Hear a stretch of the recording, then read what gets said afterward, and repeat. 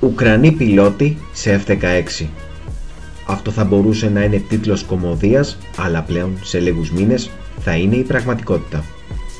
Από το καλοκαίρι του 2022 μαγειρεύονταν αυτό το ενδεχόμενο, δηλαδή να δοθούν στους Ουκρανούς παλαιά F-16 μαζί όμως με Α-10 Warthog.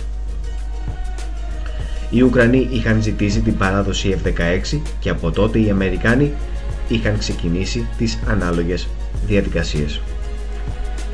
Η Βουλή των Αντιπροσώπων ήδη από πέρυσι το καλοκαίρι είχε εγκρίνει το αίτημα μαζί με 100 εκατομμύρια δολάρια για την εκπαίδευση των Ουκρανών.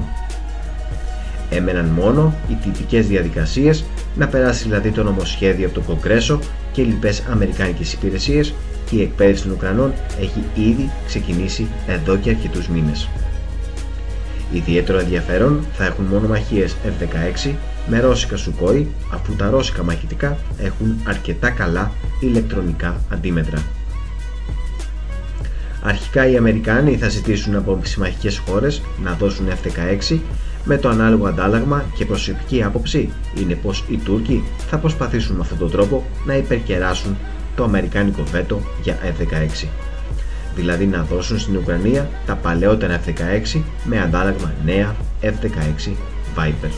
Κοινοποιήστε το βίντεο στους φίλους σας, κάντε εγγραφή και πατήστε το καμπανάκι ώστε να βλέπετε πρώτοι τα βίντεό μας.